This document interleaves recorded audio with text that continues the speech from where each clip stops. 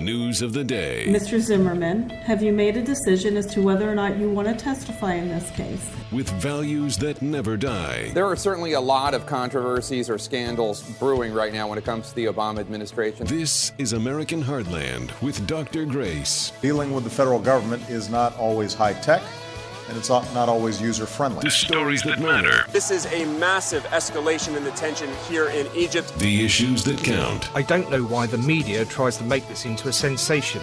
We have never hidden the fact that we supply Syria with weapons. This is American Heartland with Dr. Grace. He's got the red, white, blue flying high on the farm. Semper Fi tattooed on his left arm. Welcome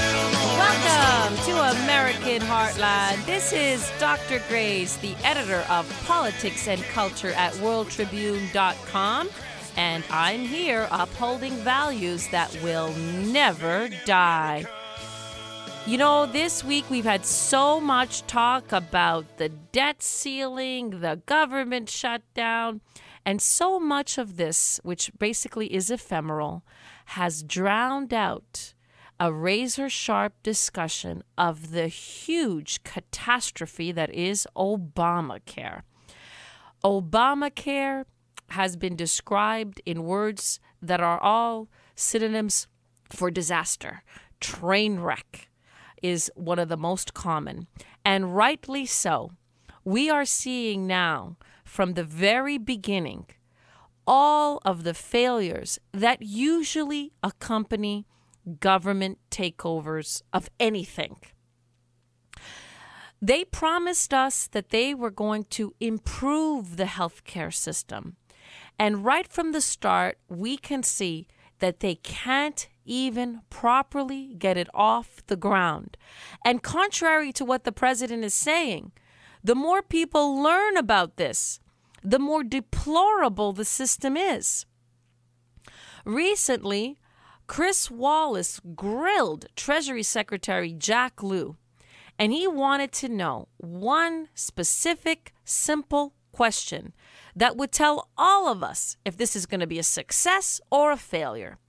Out of the people that are going to the website, how many are enrolling in Obamacare? And what answer did he get? Do the American people know at what rate people are embracing this program? All we got was stonewalling and more stonewalling. Roll it, Brittany. Ask you about Obamacare. You brought it up. That's what, uh, what a lot of this is about. The public exchanges in Obamacare opened this week, and I think it's fair to say that the government website was a mess. In fact, and you can look at it right here, the page to sign up to enroll for Obamacare has been taken down for repairs during off peak hours this weekend. Question, sir. You have had three years to prepare for this week. If I already had doubts, somebody already had doubts about the government's ability to oversee a sixth of the economy, shouldn't this just add to my doubts? You know, Chris, uh, I actually think that is not what's happened this week. What happened this week is we saw 7 million people rush to go onto the web page to find out what are their choices in this new marketplace to buy affordable health care. How many actually healthcare. signed up, sir? You know, they have six months to sign up. This is a big decision. We never expect. How many signed up? I, I, don't have the exact number, but the question isn't Do you how have many. any number? Because the, que- government has refused to tell us how many. It's the wrong question. No, it isn't. It, It in is the a- end, looking, the right I can look, and I may have no Yeah. interest. And in fact, I'm not going to need Obamacare. We know, The question is, how Chris, many we- people have we know- actually signed up? You know, they kept they, they- they keep not wanting to answer this question when their very own actions have told us the truth. Just before the launch, they had advertisements running and they were using celebrities begging people to enroll. So obviously they knew that it was going to be a challenge to get people to enroll. And now they're telling us, well, don't believe your very own eyes. We can see that the web page says not loading, not working, come back later.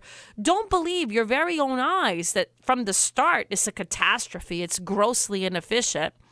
And we've all been reading the reports about people who explore their options and decide they don't want to enroll, and that then they are met with very nasty messages saying that there's going to be penalties. We have your information now, and we're going to come after you with the full arm of the law.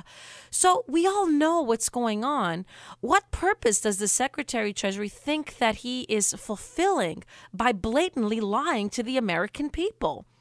This is a, a truly erroneous way to proceed in the face of what is obviously a public relations nightmare for Obamacare. And that interview went on with the Treas- Treasury Secretary basically saying that what we're seeing right before our eyes isn't a failure, it's a success. Millions are rushing forward, millions are interested. But still, at the end of the day, he can't give us the numbers that really prove how successful this program is. Roll it, Brittany. We know that people take time to make important decisions like this. They go on, they compare their options. The fact that so many millions of people rush to get information is a very good sign. And you know, your question about the website, I don't know about you, but um, you know, I sign on and, and, and, I get updates on my software, and I often get corrections that I have to re uh, re update my, my software for major companies. Uh, it is not unique that when you have a very large new uh, software program come out, that people work to clean it up. I usually wait till it's 0.3 or 0.4 before I sign up so many millions of people rush to get in because that shows how much interest there is in, in getting I, I'm going to ask it one last time because, forgive me, sir, you haven't answered it. Do you not know how many people have signed up, which would seem to indicate another major software glitch, or is it that the number is embarrassingly small? Chris, I, our metric for this week was could people get online, get the information they the need they to make an, enforce, an, an, informed decision? They have been getting that information. We are confident that they're going to make the decision as we expect. They have six months to make the decision. So you don't. Do, do they? Do you not know, or is it that the number is small? Well, it, it's obviously not my primary area of responsibility. So uh, my knowing or not knowing is not is not going to be indicative. Okay. Nobody. They, you know, that's a peculiar way to, to mount a defense. First, he gives us one set of numbers, but he denies that he uh, it's his responsibility to know the other set. Again, what we are seeing here is a huge failure unfolding right before our very eyes. And instead of taking the life jacket that Republicans are throwing at them, they're saying, listen, it's obvious this program is going to fail. The American people are demanding that you reform it, and we're actually going to give you an opportunity to reform it. In fact, you can save face during this embarrassing fiasco by saying not that the program itself was such a catastrophe in the rollout, you could say, well, the people through the Republican Party and other venues were demanding reforms, and therefore we accommodated accommodated their needs. Instead, what they're doing is they're allowing the disaster to continue to unfold while defending it, which makes them look grossly incompetent. And they're all on the same talking points. We heard the same blarney, basically, from the White House press secretary, Jay Carney where they keep trying to tell us that just like in the private marketplace, when there's such a high demand, sometimes it takes a little bit of time to get the product that you want. Everybody knows that this usually doesn't apply to government operations. Roll it, Brittany.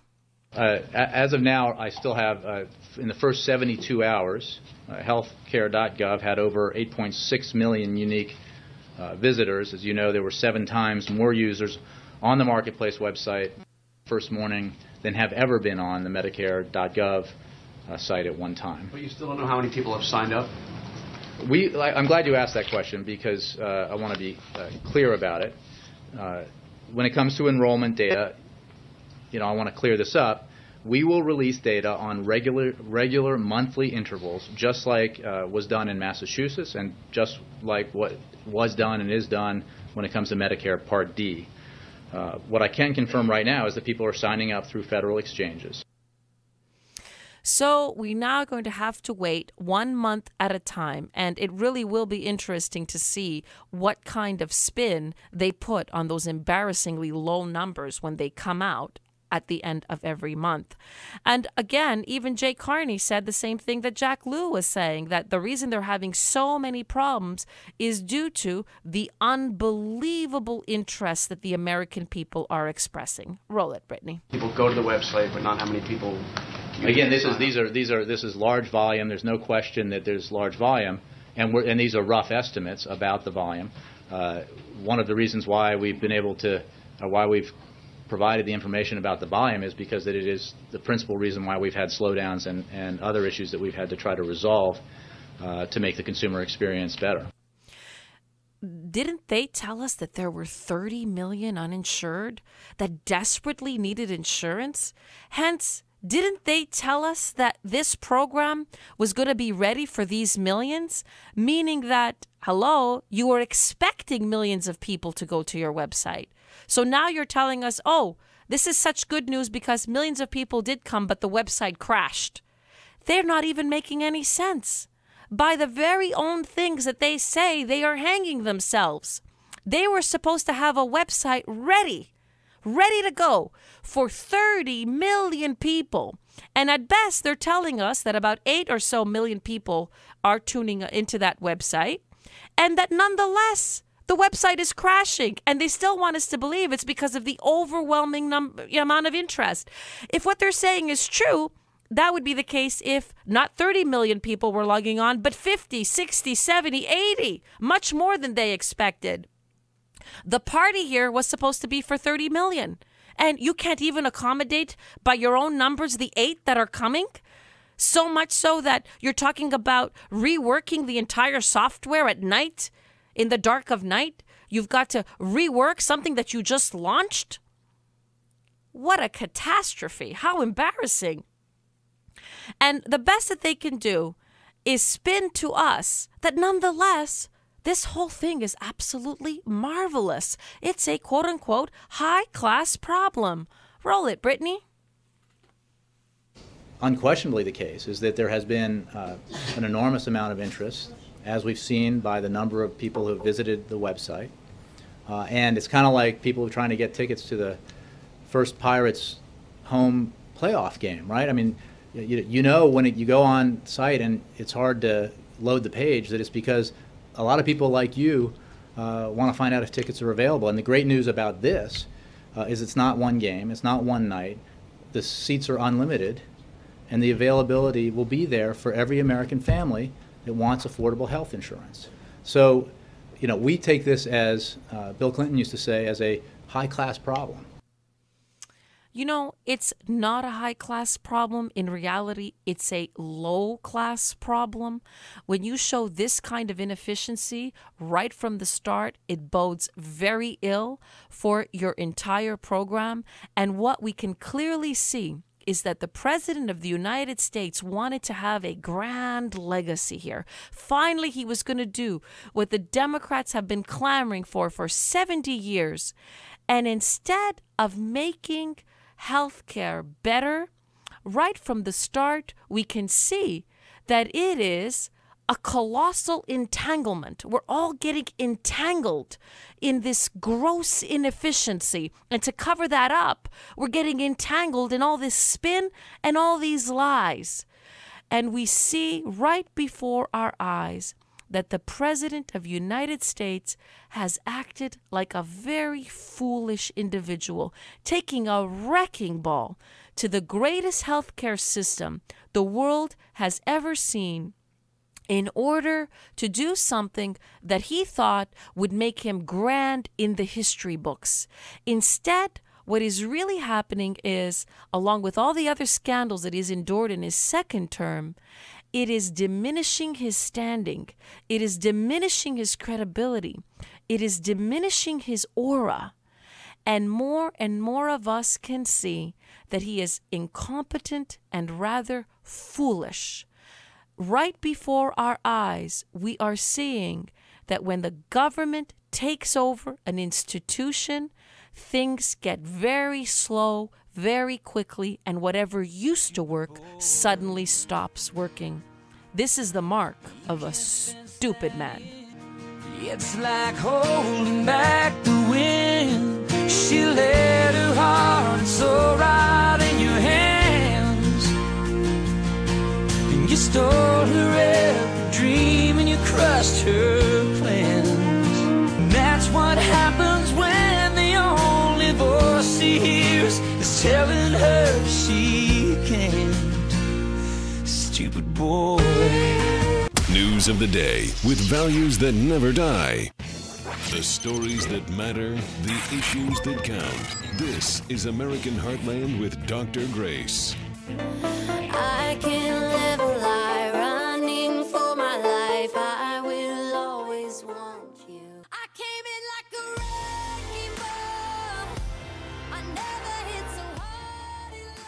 Welcome back to American Heartland. This is Dr. Grace, the editor of politics and culture at worldtribune.com.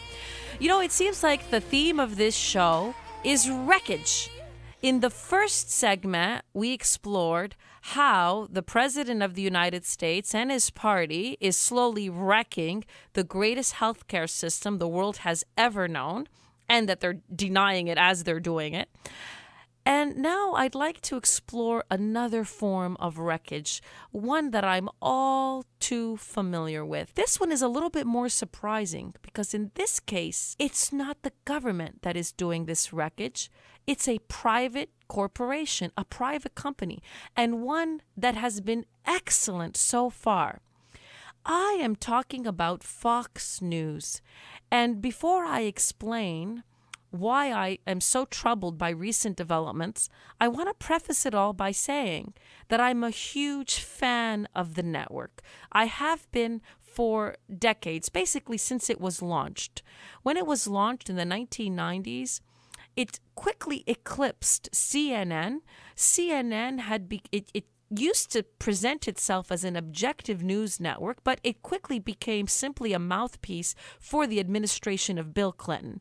And when Fox News broke onto the scene, so many of us conservatives latched onto it for dear life. Oh, here, finally, we could get the alternate point of view. Even though they keep saying that they're fair and balanced, it was very obvious that at last conservatism could be presented and the news could be given to all of us that were desperately craving an alternative to the Clinton News Network.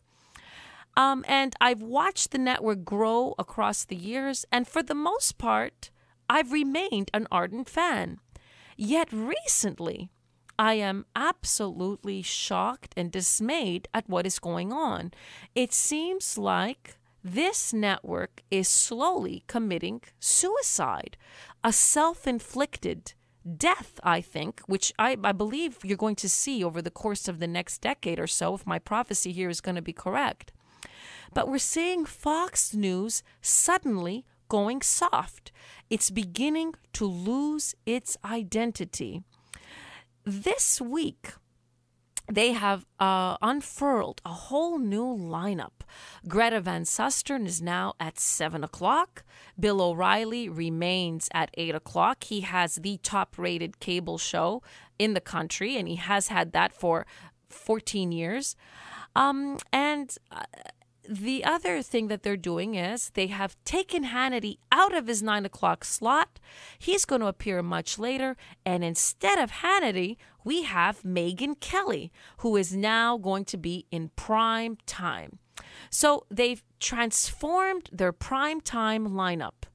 And what have they done? Have they strengthened this prime time lineup with stronger conservative voices? Or have they weakened it? I think that the evidence is clear. What you're seeing at Fox News is they're slowly muzzling the conservative voices therein. And I've seen this done in other news organizations. One of the tactics that is used is you take somebody, for example, that is highly opinionated, that has strong conservative points of view. And you put that person in a box, in a box where they're supposed to, instead of being opinion commentators, they have to simply report only the news in an objective fashion. In fact, that very thing was done to yours truly. That's why I say I know this. I know these tactics. I was one of the leading editorial writers at the Washington Times. And due to uh, a shakeup that occurred at the Times, the upper management knew that I was highly conservative. I was then transformed, given a promotion, and in my column, I wrote a column on the military community, but I was told that that column had to be a news column. Now, I was grateful for the opportunity to uh, address the needs of the military community, but I also knew that that strong conservative presence of mine was now being put in a tiny little box. The higher ups were trying to, and they did it because I was working for them, silence another fervent conservative, but doing it in a way that it could go almost unperceived. What have they done here with taking Hannity out of the nine o'clock slot and put Megyn Kelly there? Now, I have nothing against Megyn Kelly. I'm actually a fan of hers. I've enjoyed her broadcast during the daytime. And when I- was when I heard that she was going to be an a, a key element of the prime time slot, I was really excited. I thought, well, maybe Hannity will be moved, but she is going to you know, exercise her vibrant personality in that prime time slot and really advance conservative ideas. Instead, Megyn Kelly is now simply to report the news at nine o'clock in more or less an objective fashion. So, the strong conservative presence of Hannity, who, by the way, is more of a Republican hack, you might say, than an actual conservative, but at least his show was highly opinionated, that is being pushed to the side in favor of Megyn Kelly. And this is what her new show will be all about. Roll it, Brittany. It's going to be a live broadcast, and so it's going to be a news program, a breaking news program, not an opinion program. So I'm not going to be the uh, the female Bill. You should be. You should be. But you're going to have to give your as that is. You're going to have to give your opinion sometimes because there are going to be Well, so many pinheads, and you're going to have to go. This is insane. Listen, you're I already to do, do that, on my afternoon show, but that's Right. that's not a risky proposition. When I see somebody driving like you know 100 miles an hour on the sidewalk endangering families on my afternoon show, I, as a news Sure. anchor, I've said that's a moron, and that's not particularly controversial. As a legal uh, expert, but as I practiced law for nine years, I feel comfortable giving my legal. Are you going to do a lot of that legal stuff? We'll do some legal stuff, Yeah. yeah. But I mean, I'm not going to be somebody like you who's going to outline what needs to happen with the sequester and the showdown and all that. That's not going to be what I'm there for. But I will present both sides of the view. I want to do it smartly. I want to do it succinctly. I want to synopsize the news for. There you go.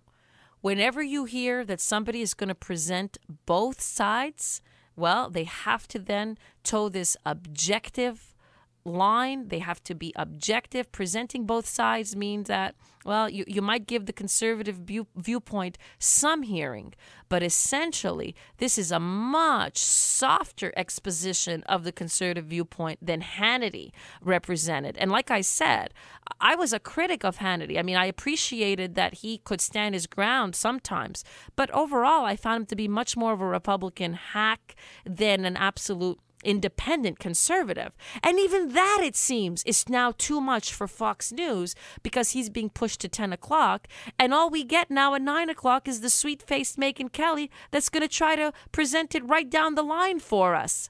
That is a mistake for Fox News because someone like me, and I speak for millions who have given this network its top rated slot in terms of uh, being the highest rated uh, cable news network in the country, we're going to tune out.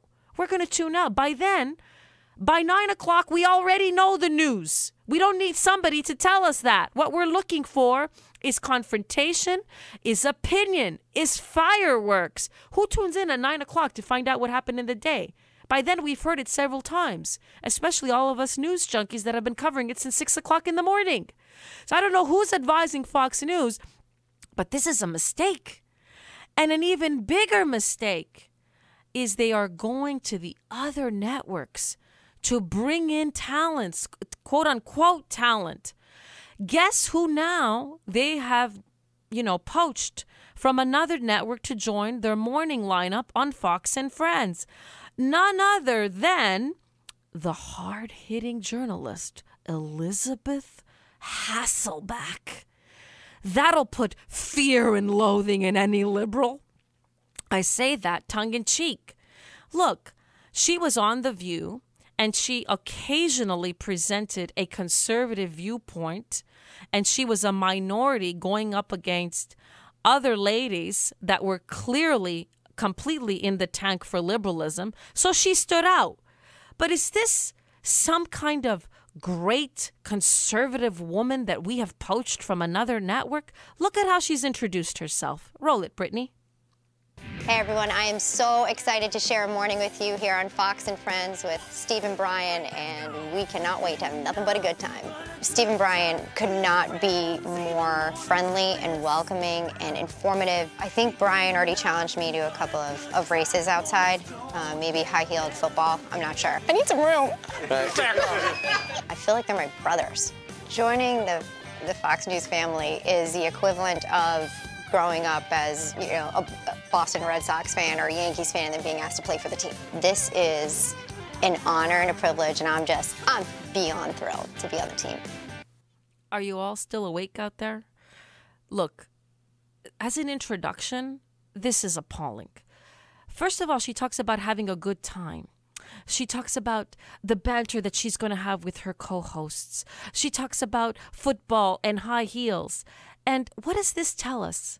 That she's trying to sell only her personality. We don't care about personality. We care about what you stand for. We care about your expertise, your knowledge, your hard work. What do you bring to the table? I don't want to see a bubbly personality. I don't care about personality. I mean, if you recall the way that I started this broadcast when we started this show, I identified these are my core convictions. I'm doing a service, I believe, to all those who share the conviction so we can band together and we can make a positive change. So, you don't care about my personality. I don't care about my personality. We're not here to make friends. This is not friends. A Fox News broadcast is not about creating a community of, of bubbly personalities and friends that we all hang out together. We are here to expose the truth, to defend the truth, to change this country in a moment of crisis. And of all the people that you reach out to to poach from another network, Elizabeth Hasselbeck? Uh, honestly, this is another really bad decision. And you know what? You can see on her face, I don't know if any of you have seen it, and there have actually been some articles written on it. She has quickly grasped number one, she's out of her league. She was, she's not really that informed. She's not really up to speed on the issues. So she was good where she was. She should have been left there as a conservative voice, a kind of, you know, I would say a rather, uh, you know, light conservative voice on other networks. There she stood out. There she had some kind of a role. But on a station with really serious heavyweights on it, she seems like a tiny little dwarf. She seems stupid. She's out of her league. And that's not going to win any more viewers to the morning show. Another big mistake for Fox News. More on this mess when we come right back. My loneliness was rattling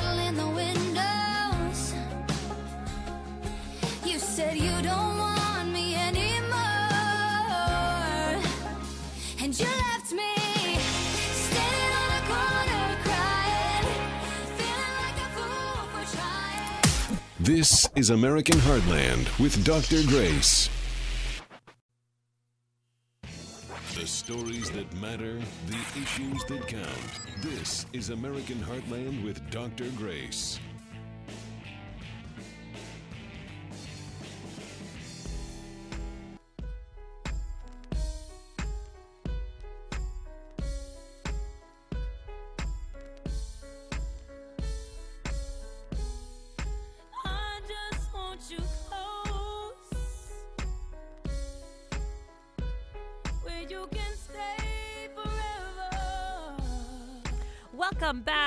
American Heartland with Dr. Grace. I am the editor of politics and culture at worldtribune.com.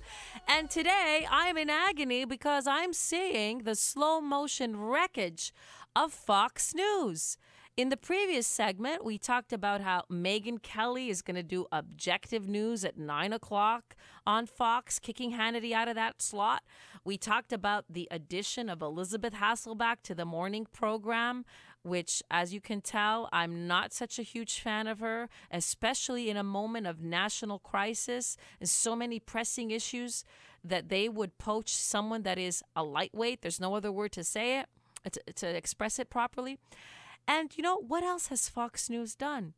They have also poached George Will. Now, some of you will say, well, Dr. Grace, what do you have against George Will for crying out loud? Look, George Will is another one of those individuals that on other networks was somewhat useful to counteract the liberalism.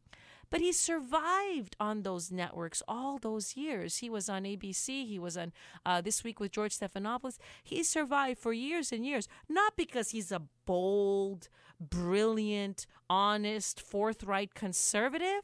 He survived all those years because he's a safe conservative. And there's another thing about George Will. George Will is passe. Who still reads George Will? I haven't read George Will in years.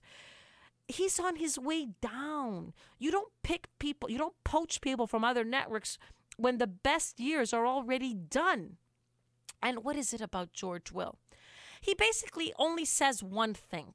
He's got one point in him, and that point is a good one. But after 20 years, when you've heard it, you don't need to hear it anymore. Let me summarize it for you. The government is too big. That's what George Will says. He has said it a hundred different ways, using historical examples sometimes, which are witty and amusing, but that's all he's got to say. And he's not strong enough, bold enough, courageous enough to combat the demons we are facing in our midst today. Listen to his debut analysis on Fox News. This is a sample. Roll it, Brittany.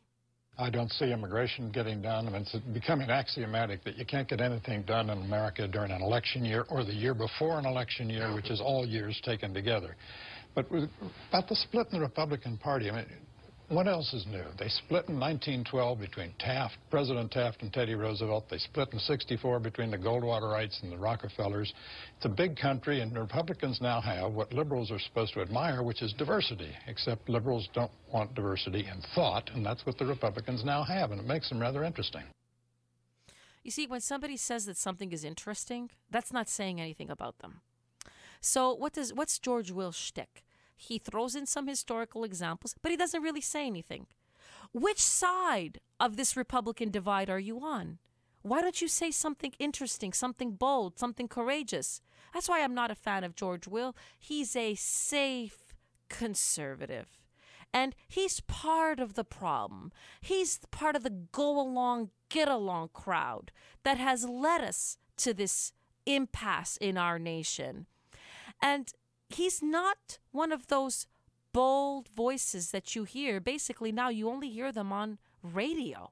That's one of the last areas where people speak freely, where the truth truly comes out.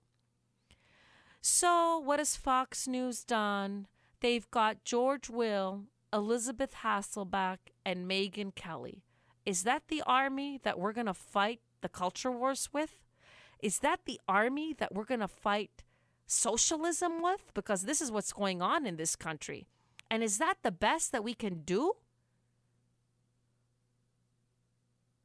I am deeply concerned because this is another example of a good institution going bad, of a conservative and important voice slowly being transformed. When we talk about the gradual, ongoing, perpetual, endless leftward shift in our culture, this is how it happens. An institution that is previously conservative is slowly sabotaged from within. And it's always sabotaged from within with people saying that this is a good path to take, that this is the future, that this is the way to go forward that this is the bright path to take, when in reality, all of us can see that in all of these choices, they're taking a wrecking ball to their brand. And, you know, one of the things that Fox News has done is they've unfurled this big, flashy set. So now they're going to have this big set. Do you watch Fox News because you want to see a great set? Listen to how Shepard Smith is so proud of the new set that they're unfolding. Roll it, Brittany. Welcome to the Fox News deck at Fox News headquarters in New York. It's in this building 17 years ago that Fox News revolutionized the way broadcast news is presented to the people. And it's in this room that we plan to do it all over again. It's been almost a month since I signed off for the last time from Fox Report. And what's happened in this studio since then has been nothing short of extraordinary. Construction crews, computer programmers, and journalists have been working around the clock to build the Fox News deck. From the lights to the floor, everything has changed, and for good reason, because you've changed as well. Viewing patterns are changing. Uh, the way people consume news isn't is changing.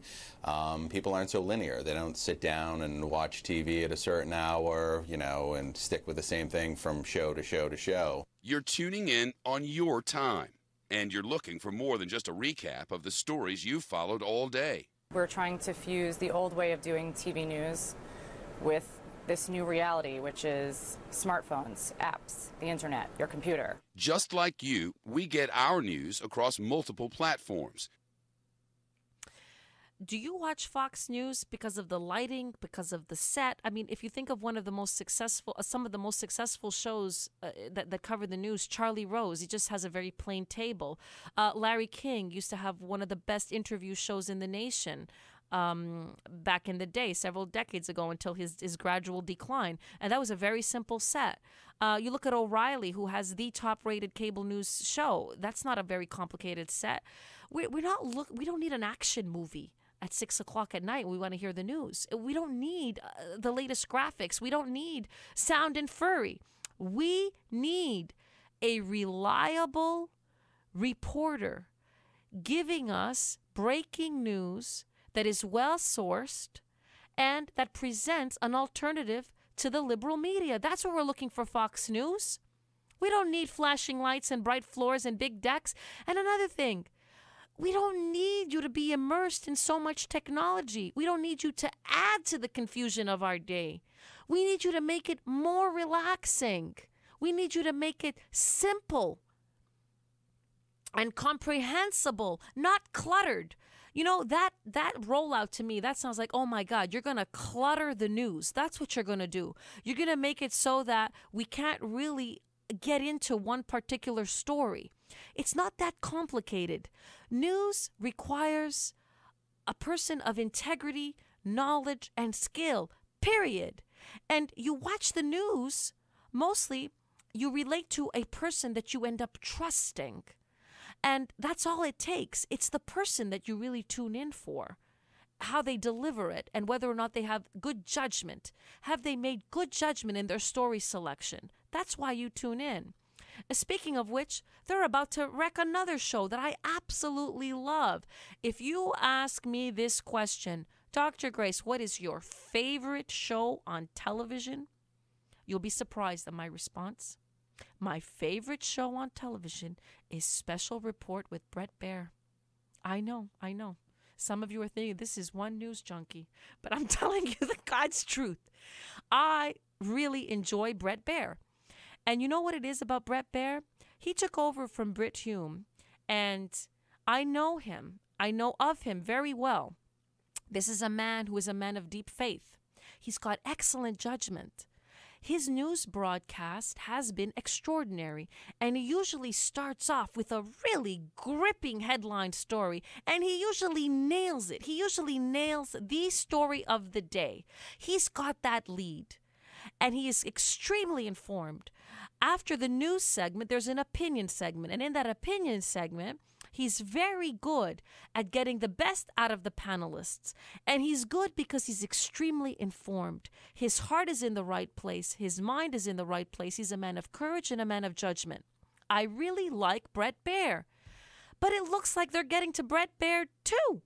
And you know, I can relate. Like I said, I've been a conservative in the media with the powers that be telling you you should do it a different way. And that's what's happening to Bret Baier, and I can see it on his face and I can read it in his eyes. If you notice, his leads are getting softer and weaker. It's not the same Bret Baier. He is slowly being muzzled. He's being told, tone it down. And now they're going to get him with something else technology. They have launched this insane, stupid, idiotic mechanism on Special Report with Bret Baier. Listen to Bret Baier explaining it. Roll it. Let's take a moment to walk you through how you can have a seat at the panel. First, you need to go to bing.com slash politics on your home computer or even a handheld device. Once on the page, pick your political affiliation. There are three options. For this one, Republican, Democrat, or Independent. We'll click Independent. Then state your gender, male or female, of course. Now, you are on the panel too. As the discussion begins, you can have your say. You can vote and vote often, every five seconds if you'd like. Just click one of the five buttons on the screen, ranging from strongly disagree to strongly agree. So, guess what? Instead of just watching Bret Baier, we also have this mechanism now at the bottom of the screen when the panel comes on that tells us how the viewers are reacting to what the panelists are saying. Is this at all interesting or enticing to you? Here again, we add confusion and chaos. And also, it's an attempt to make the news more democratic. That's an oxymoron. The news is not democratic. We want an authoritative figure to tell us the news. If I want to know what everybody else thinks about the news, I'm going to pick up the phone. I'm going to call my sister. I'm going to call my niece. I'm going to call my friends and I'm going to ask them, hey, what did you think of what Krauthammer said today? I don't want to see what the rest of America is thinking as I'm trying to untangle what Krauthammer and everybody else on the panel is saying. You're making the news you're, you're dumbing it down by doing that. You're introducing an element of democracy, so called, that doesn't belong there. The news is supposed to be authoritative from somebody that you trust. And when the opinion panel comes on, what we're enjoying is seeing the interaction between them. When you add everybody else, now you just have chaos. And on top of that, you have that stupid ticker that tells you other news that's going on. So basically, I'm here complaining. They are wrecking, wrecking special report with Bret Baier. And that too is a way of diluting its content because instead of focusing on conservatism, we're going to get independents and Democrats weighing in on what everybody else is saying. Who cares what Democrats and independents are saying and thinking and feeling? And that's not what I watch Fox News for. But yet they think this is a great revolution. Roll it, Brittany. It's a first for an evening news program, something you can take part in. And we have partnered up with our friends at Bing to bring it to you. This is the first ever time where Americans get to sit in their living room or look at their phone and watch Fox and vote real time on what's happening. It's revolutionary in how we're going to watch television. We had more than 12 million votes during the State of the Union, and it worked. And people said, This is great. I get a chance to actually talk back. And we said, What else could we do this with? What else can they do with it with? Wreck one of the greatest shows on television. Wreck one of the greatest news broadcasts on television. That's what they're doing. They're bringing independents and Democrats onto our turf to infiltrate and push the network further and further towards the left. Sadly, Fox News is slowly being destroyed. It's being sabotaged. It's being submerged in this liberal culture. And I'm very, very sad to see this unfold. You're listening to American Heartland with Dr. Grace. The stories that matter, the issues that count. This is American Heartland with Dr. Grace.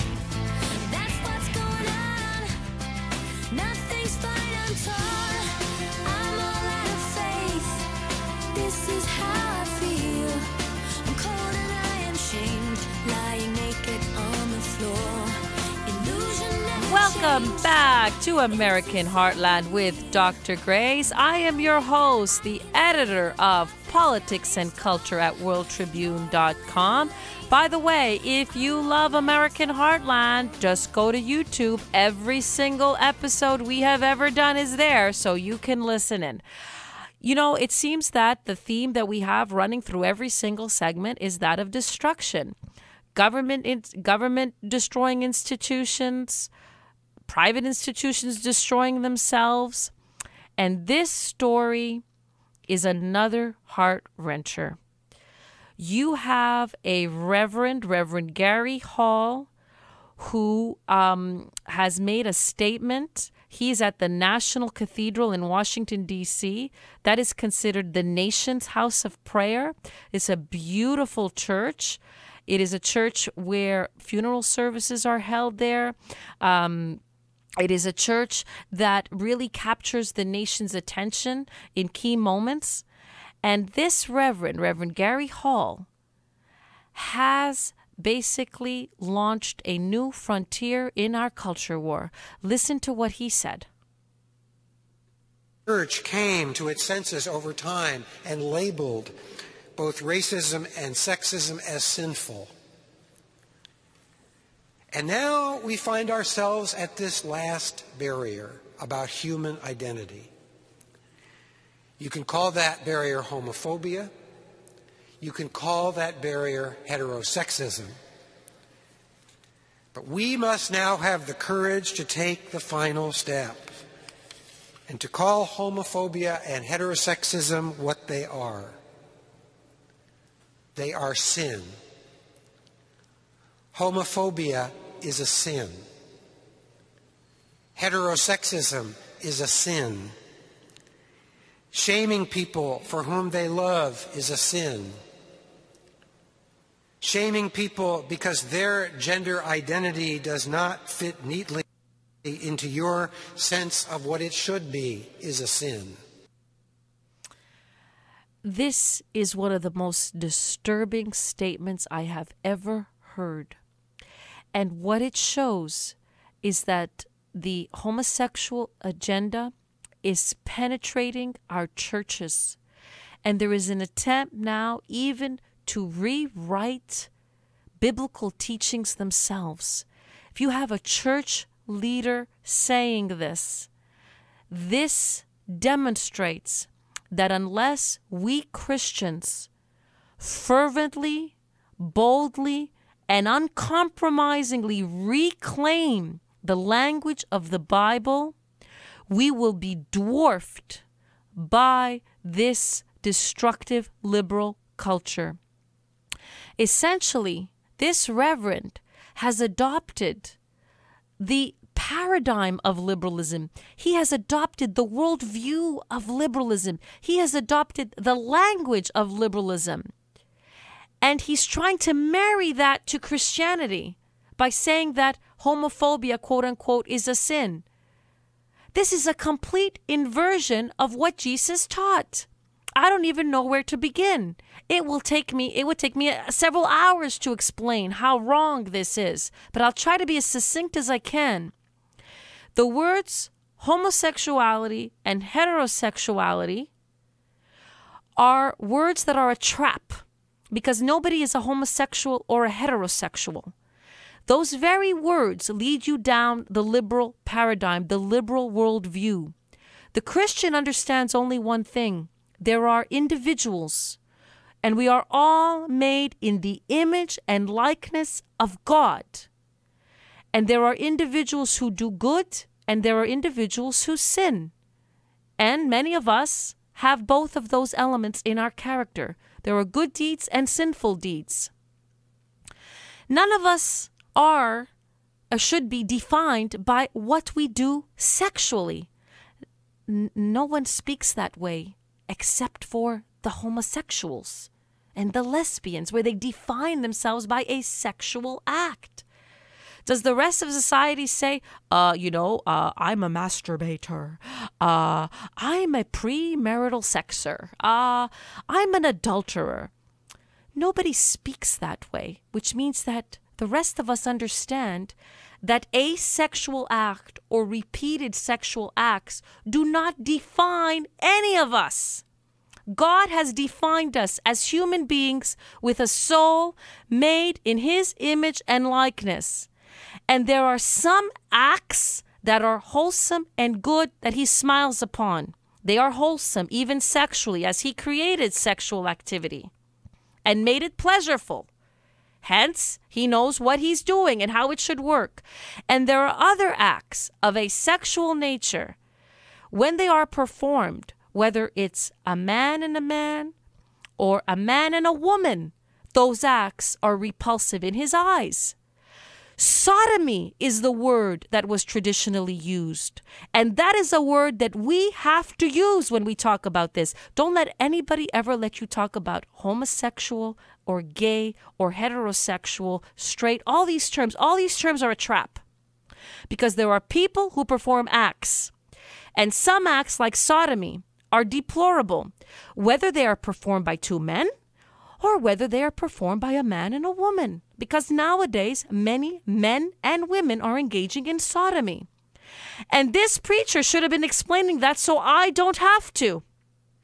Because frankly, it shames me. I feel a little bit ashamed to use these words. I was raised in a Victorian household. But unfortunately, I have to talk about these things because our priests don't do a good job. Or when they talk about it, they are leading us astray. They are being brainwashed by this liberalism and their own historical ignorance and their own lack of knowledge about the proper use of words. None of us who reject the act of sodomy are homophobic. We are simply saying that that act is unnatural, it is sinful, it is displeasing, and that has been laid out clearly in the Bible. Just read it. But it's not only that act. It is premarital sex that is condemned. It is adultery that is condemned. It is sinful thoughts that are condemned. It is looking at it, if you're married, looking at somebody else with lust that is displeasing in God's eyes. All of these are acts. They don't define us. You know why they don't define us? Because the Christian creed is one of love and forgiveness. So when we fall astray, astray in prayer, in confession, we try to get back on the path that is pleasing to the Lord. So to truly be loving of a person who has an inclination towards sodomy, we should tell them, this is leading you astray. It is not good for you physically, and it is not good for you morally and spiritually. And it is not good even if a man and a woman do it. It is not good, period. And you're not a pariah. You're not somebody to be despised because all of us sin in some way, shape, or form. But the beauty here is if you recognize what sin is, you call it by name, you have a chance to go back on the virtuous path. And instead, this reverend is destroying central church teaching.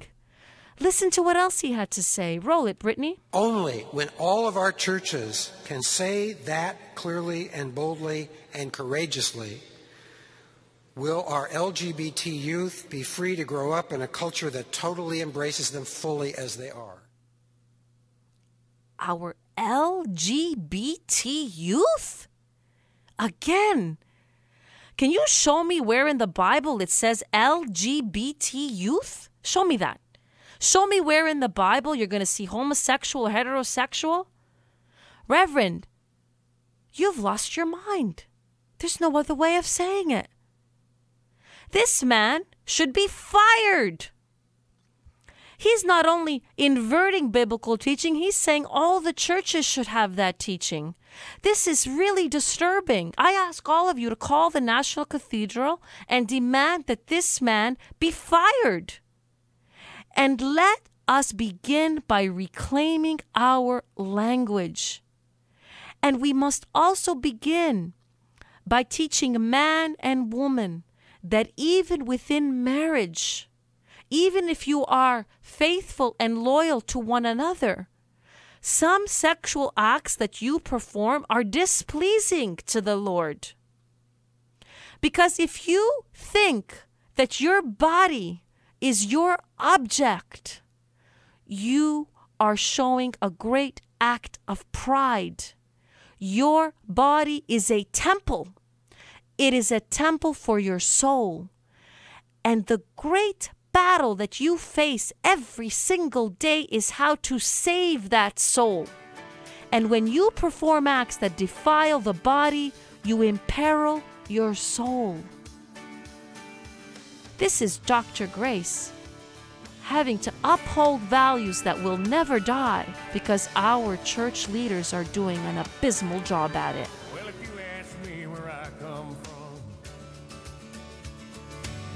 What I tell everyone. I was born by God's dear grace in an extraordinary place where the stars and stripes and the eagle fly.